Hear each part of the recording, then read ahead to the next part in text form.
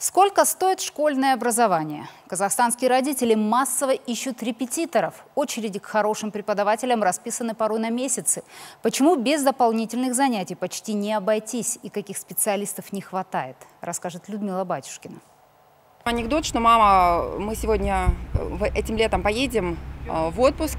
Нет, сынок, э, в этом году на море поедут твои репетиторы. У Анастасии Машниной обучением ее сына в седьмом классе занималась вся семья. Ни дистанционное преподавание в школе, ни уроки по телевизору не помогали мальчику усваивать учебный материал. Но нужда в дополнительных уроках появилась еще раньше, считает женщина, после перехода на обновленную программу. Если бы я нанимала по всем предметам репетиторов, я бы просто улетела в трубу. И мне повезло, что у меня вот два высших образования, что у меня а, мама политех закончила, и что она может точные науки внуку преподать. Но проблема в том, что вот, например, моя мама да, и мой папа, они не педагоги.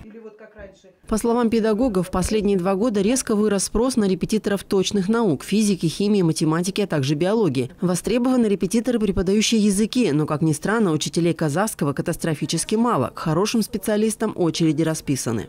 Час занятий у репетитора сегодня стоит от 1 до 12 тысяч тенге. Месячный курс по одному предмету в среднем 30 тысяч. Онлайн-курсы чуть дешевле. Самые дорогие и редкие преподаватели по физике, биохимии и казахскому. То есть, если нанимать по нескольку преподавателей в месяц, родителям придется выкладывать около 100 тысяч тенге за одного ребенка.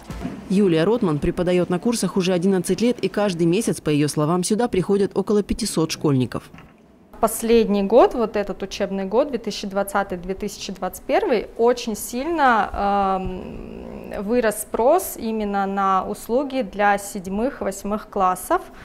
То есть э, математика, та же химия и физика, так как э, в седьмом классе они только начинают это проходить, и очень многие родители говорили, что именно из-за дистанционного образования Родителям, у которых нет возможности оплачивать репетиторов, остается уповать на способности своих детей. Однако перед сдачей ЕНТ без дополнительных занятий практически не обойтись.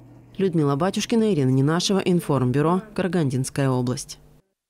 Еще больше важной и интересной информации на нашем YouTube-канале Информбюро 31. Подписывайтесь, ставьте лайки, оставляйте комментарии и не забудьте нажать на колокольчик, чтобы всегда быть в курсе новостей.